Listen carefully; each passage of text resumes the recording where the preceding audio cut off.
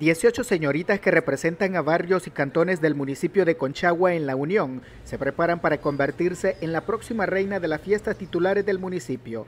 La elección de la reina se realizará el sábado 5 de enero en un evento donde se espera resaltar las tradiciones culturales del municipio, las cuales serán reflejadas en los trajes de fantasía que van a lucir las candidatas.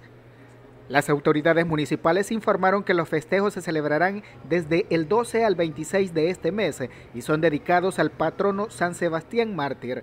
Durante los 14 días de fiesta se tendrán actividades culturales, exposiciones y carnavales.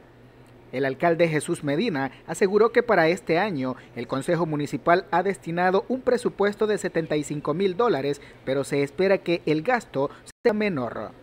Este es un reporte para la prensa informó Juan Carlos Díaz.